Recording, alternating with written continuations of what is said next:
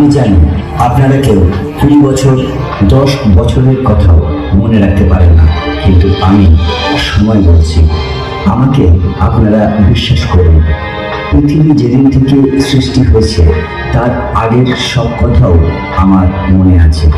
এই পৃথিবীতে যত রকমের কীট পতঙ্গ প্রাণী আছে, তাদের প্রত্যেকের খারাপ সময়, ভালো সময়, অভাব অনটনের সাক্ষী একমাত্র আমি সময়। যখন আমাকে কেউ স্মরণ করে, তখন আমি তার চরিত্র ও জীবনীটা সবার সামনে তুলে ধরি। এইরকম একজন ব্যক্তি যিনি তার কর্মের মধ্যে দিয়ে, তার চরিত্রের মধ্যে দিয়ে, তার শিক্ষার মধ্যে দিয়ে আমাকে ব্যাকুল করে তুলেছে। তাই আমি সময় বলছি, যদি এই মানুষটার সংক্ষিপ্ত জীবনী আপনাদের সামনে তুলে না ধরি, তাহলে আপনাদের কাছে আমার কোনো অস্তিত্ব থাকে না। তাই এই মানুষটার জীবনী আপনাদের সামনে তুলে ধরা আমার সামাজিক কর্তব্য।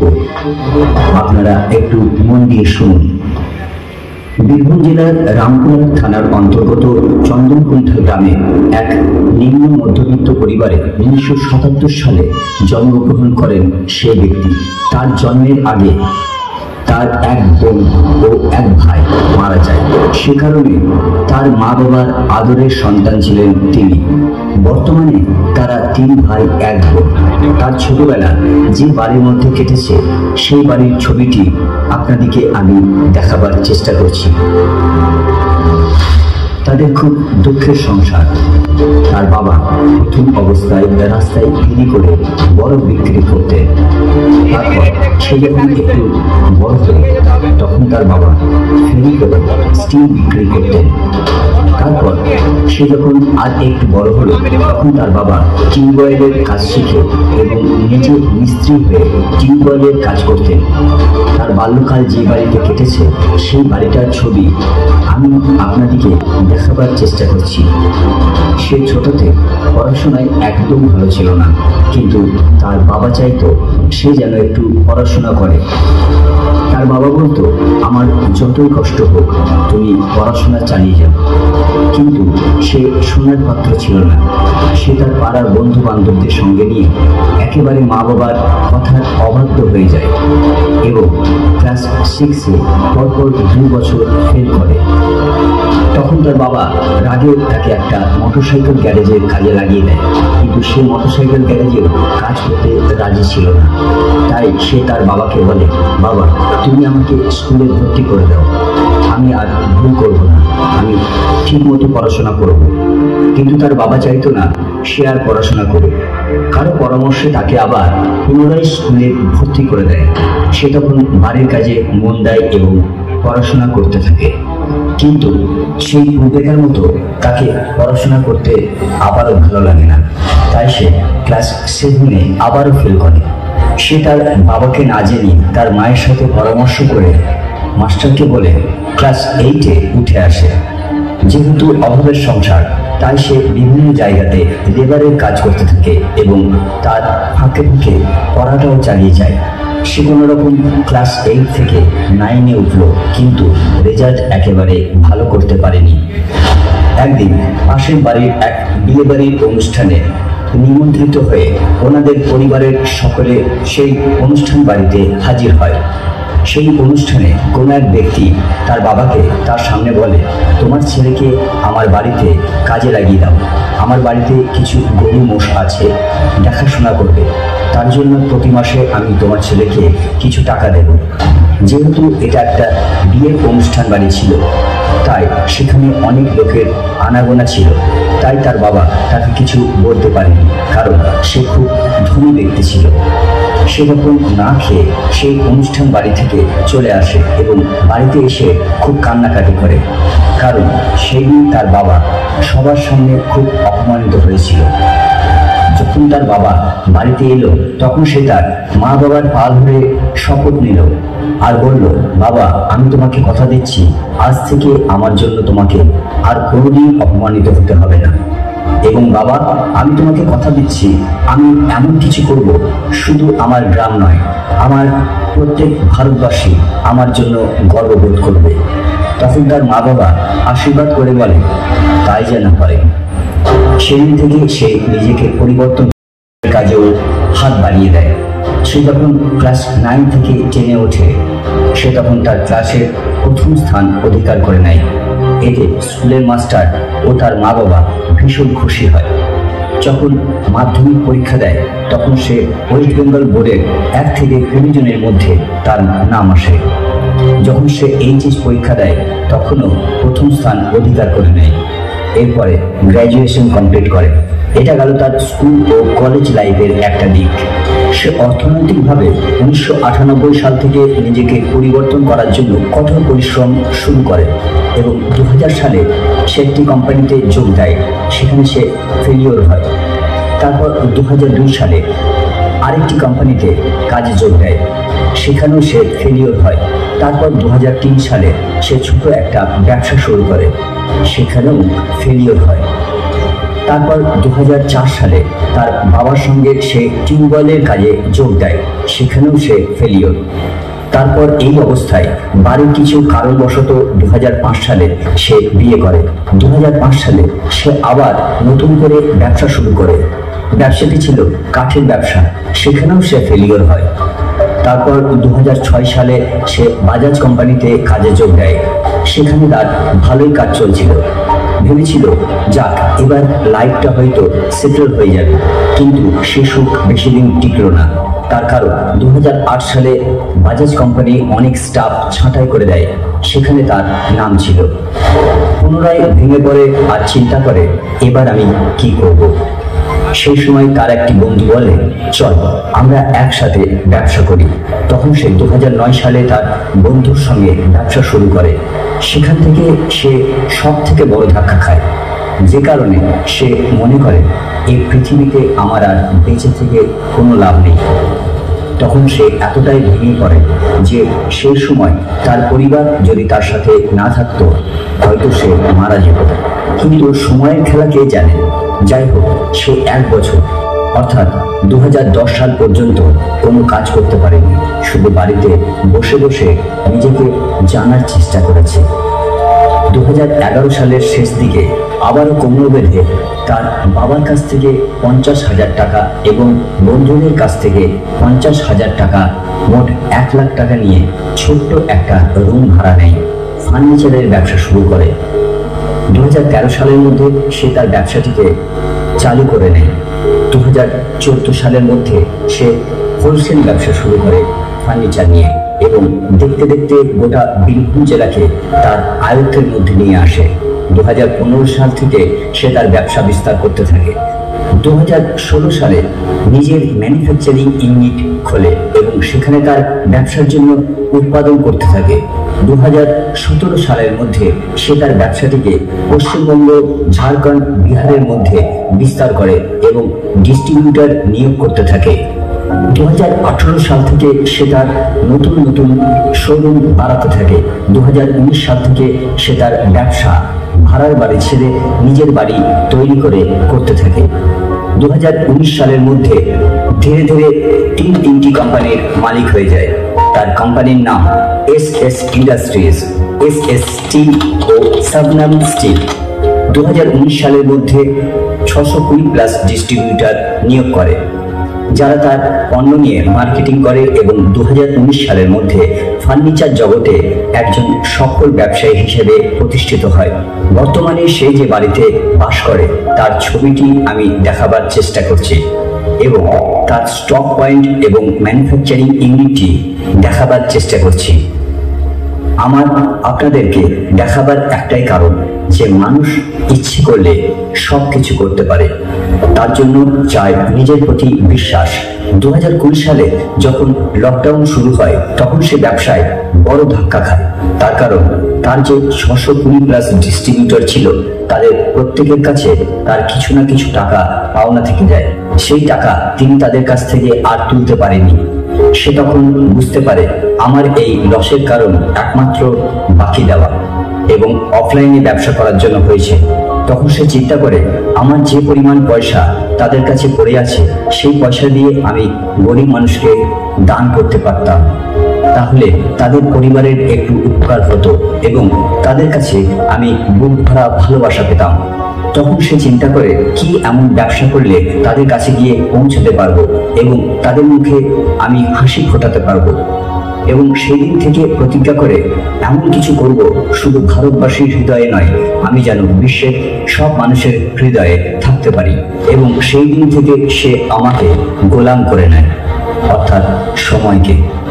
এবং নিজেকে এতটাই বদলে ফেলে, আমি সময় বলছি, আমি ওর কাছে এতটাই বেবস হয়ে যাই যে আমি ওকে ছাড়া কিছুই ভাবতে পারি না এবং আমি ওর কাছে প্রতিজ্ঞাবদ্ধ।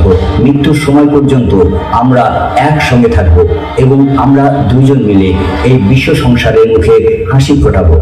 আমি সময় বলছি, আমাকে আপনারা বিশ্বাস করুন এবং আপনারা সবাই আমার সঙ্গে প্রতিজ্ঞাবদ্ধ হন। আমি কথা দিচ্ছি, আজ থেকে আপনাদের কোনো রাগ, কোনো লোভ, কোনো অহংকার থাকবে না। থাকবে শুধু মানুষের জন্য বুক ভরা ভালোবাসা। আমি সময় বলছি, আপনাদের কথা রাখা, তাকে আমি যেভাবে তৈরি করেছি। প্রথমে তাকে আমি তার শরীরটা পরিবর্তন করেছি। আমি জানি সে যদি শারীরিকভাবে ফিট না থাকে, তাহলে সে আপনাদের পাশে দাঁড়াতে পারবে না।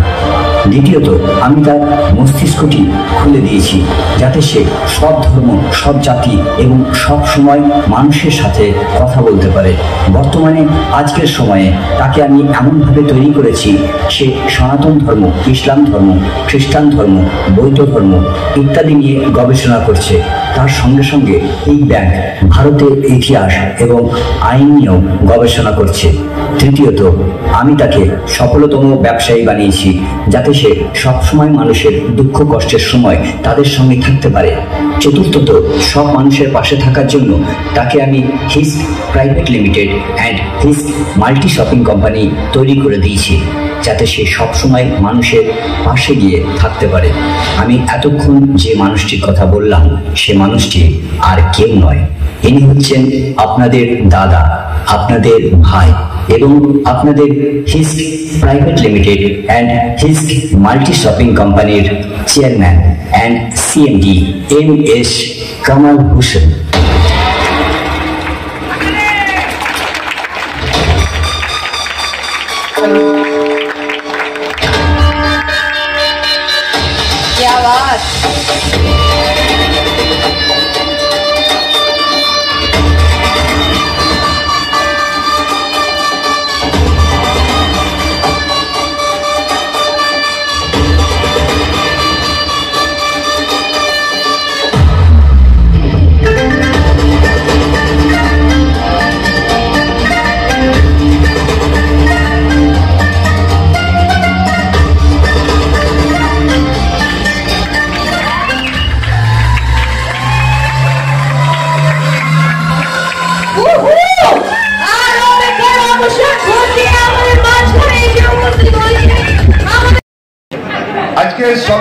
জন্মদিনের মোবারক।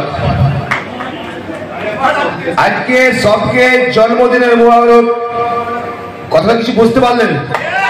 বাঁচা হওয়া দিন বাঁচা হওয়া দিন কা আজকে আপনার পেলা দিন আমি একটা খালি কথা বলব আপনাদেরকে তারপর আমি একটু কোম্পানিতে চলে যাব। আমি এগারো বছর ধরে তিন ঘণ্টা ঘুমাই। আমি তিন দিনে একবার খাই, কিন্তু আপনাদের যে লাইন দেখছি, আমি বসতে পারছি দু ঘণ্টা না খেয়ে কিন্তু আপনার থাকতে পারবেন না মনে হচ্ছে।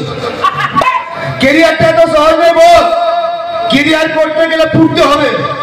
যদি না পড়তে পারেন মিটিং এ আসা, যাওয়া ছাড়া কিচ্ছু হবে না। আমি দেখছি চার দু ঘণ্টার মধ্যে, তিন ঘণ্টার মধ্যে টিফিন কে ঢুকে গেছেন, আবার খাবার লাইন দিয়ে দিয়েছেন। কি বস কি করতে এসেছেন আপনারা? যাই হোক, আমি দু তিনটা কথা বলার পরে আমি আমার প্রোগ্রাম শুরু করব। আমার আন্তরিক অভিনন্দন ও শুভেচ্ছা। আজকে আমাদের পথ চলা একশো পাঁচ দিন, একশো পাঁচ দিনে আমাদের কোম্পানিকে আপনারা যে জায়গায় পৌঁছে দিয়েছেন আনবিলিভেবল মানে আপনাদেরকে আমার ভাষায় কিছু বলার নাই, যে জায়গাতে আপনারা পৌঁছে দিয়েছেন। আমি দুটো কথা বলব।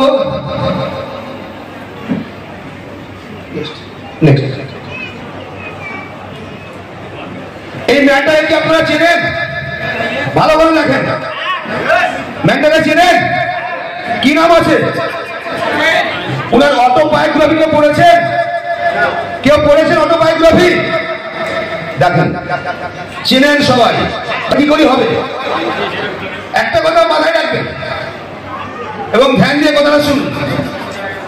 যখন আলবার্ট আইনস্টাইন মার্কেটে একটা পপুলার ব্যক্তি হয়ে যায়, চারিদিকে মিডিয়া সাংবাদিক, অনেক কিছু নাম যখন হয়ে যায়, ওই সময়তে বিভিন্ন কলেজ বিভিন্ন স্কুলে ওনাকে নিমন্ত্রণ করতো।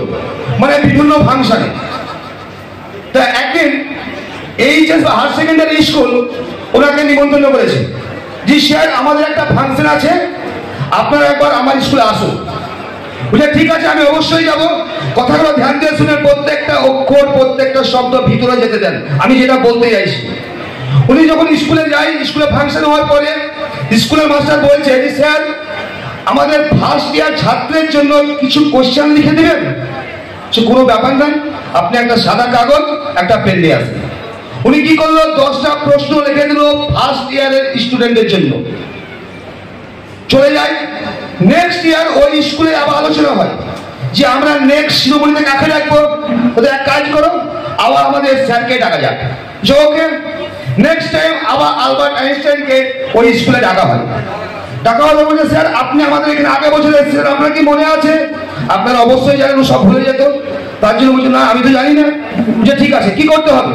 বলছে, স্যার, আপনি আগেবার দশটা কোশ্চেন লিখে দিয়েছিলেন ফার্স্ট ইয়ার স্টুডেন্টের জন্য। এবার ওই ফার্স্ট ইয়ারের স্টুডেন্ট সেকেন্ড ইয়ারে উঠেছে, ওদের জন্য দশটা প্রশ্ন লিখে দেন। যে ঠিক আছে, একই উত্তর। আপনি খাতা নিয়ে আসেন, পেন নিয়ে আসেন, আমি লিখে দিচ্ছি। আবার কিন্তু দশটা প্রশ্ন লিখে দেয়। লিখে দেওয়ার পর যখন আলবার্ট আইনস্টাইন চলে যায় মাস্টার দেখে কিন্তু কোশ্চেনের মধ্যে চমকে যায়। ফার্স্ট ইয়ারে যে দশটা কোশ্চেন লিখেছিল সেম টু সেম সেকেন্ড ইয়ারে ওই দশটা কোশ্চেনে কিন্তু লিখে আছে। অনেকে মনে করছে স্যার কি ভুল করল? না, ইচ্ছাকৃত করল? কি ব্যাপার? এটা কীভাবে হয়? যে ফার্স্ট ইয়ারের question and second year question একই হয়? বলছে, এটা যদি জানতে হয়, তাহলে আমাদেরকে নেক্সট শিরোমণি মানে নেক্সট ফাংশন তৃতীয় বছরেও আমাদের স্যারকে কিন্তু ডাকতে হবে। ঠিক আছে, ওনাকে খুঁজে কিন্তু তৃতীয় বছর আবার ওই স্কুলের প্রোগ্রামে আবার ডেকে নিয়ে আসা হয়। ঠিক আছে, নিয়ে আসার কোনো ব্যাপারটা আমি লিখে দিচ্ছি। তখন কি করছে, প্রত্যেকটি প্রিন্সিপাল ওনার প্রশ্ন দিকে ফলো করছে স্যার কি লিখছে? যখন থার্ড ইয়ারেও প্রশ্ন লিখছে ফার্স্ট ইয়ারে যে প্রশ্ন লিখেছিল সেকেন্ড ইয়ারে যা লিখেছিল থার্ড ইয়ারে সেম টু সেম একই কোশ্চেন ওনার প্রিন্সিপাল চিন্তা করছে, এটা কি হচ্ছে, ভুল নাকি? ওনাকে জিজ্ঞেস করবে কে? ইনি এত বড় আপনার একজন মানে আপনার বৈজ্ঞানিক, এত বড় সায়েন্টিস্টকে জিজ্ঞেস করবে। যাই হোক, প্রশ্ন হয়ে গেল, পরীক্ষা হয়ে গেল। হঠাৎ স্নোফল মানে প্রচণ্ড বৃষ্টি হওয়ার কারণ থেকে উনি কিন্তু ওই স্কুল থেকে যেতে পারেনি রাত্রে বসে আছে। তা বলছে, এক কাজ করো, আজকে যদি আমি রাত্রে বসে আছি, তোমাদের সঙ্গে একটু আলোচনা করি, আমি কালকে চলে যাব। তা তোমাদের যদি কিছু প্রশ্ন থাকে, তোমরা বলতে পারব। একটা প্রিন্সিপাল বলছে, স্যার, যদি কিছু না মনে করেন, তো আমি একটা প্রশ্ন করব। না তো কি প্রশ্ন? বলছে, স্যার, আপনাকে আমি ফার্স্ট ইয়ারে দেখেছিলাম। একটা প্রশ্ন লেখার জন্য আপনি যে দশটা প্রশ্ন লিখেছেন সেকেন্ড ইয়ারে সেই একই কোশ্চেন থার্ড ইয়ারে আপনি একই প্রশ্ন। স্যার, আপনি এটা ইচ্ছাকৃত করেছেন না ভুল করে করেছেন? উনি চুপচাপ তিরিশ সেকেন্ড স্তব্ধ হয়ে যায়। বলছে, ও, তাই নাকি? এটা, এটাই হয়েছে? বলছে হ্যাঁ এটাই হয়েছে। যে আচ্ছা আপনার যে ফার্স্ট স্টুডেন্ট সেকেন্ড স্টুডেন্ট এবং থার্ড ইয়ারের স্টুডেন্ট যে পরীক্ষার খাতাগুলো, আপনাদের কাছে কি আছে? আছে। যে যে আছে, আপনি নিয়ে আসেন। যখন নিয়ে এলো, বলছে অ্যান্সার খুলতে হবে না। কি লেখা আছে আমি বলে দিচ্ছি। সবাই চিন্তা করছে যে আলবৃষ্টি বা মাইন্ডও পড়তে পারবে নাকি? প্রশ্ন না দেখে বুঝতে পারছে। ও বলছে me and my question same me and my student same due to maturity not same due to maturity not same একটা গরুর রচনা যদি ফাইভের ছেলেকে লিখতে দেন, একটা গরুর রচনা যদি সিক্স ছেলেকে লিখতে দেন, একটা গরুর রচনা যদি মাধ্যমিকের ছেলে লিখতে দেন, রচনা একই অ্যান্সার কিন্তু আলাদা। আমার বক্তব্য যেটা হচ্ছে, আজকে আমি যেগুলো বলতে যাচ্ছি, আপনারা অনেকবার অনেক হয়তো জায়গায় শুনেছেন, কিন্তু যেহেতু ম্যাচুরিটি একটু বেড়েছে, আপনার মিনিংটা ভালো পাবেন। কিছু রবীন্দ্রসঙ্গীত গান আছে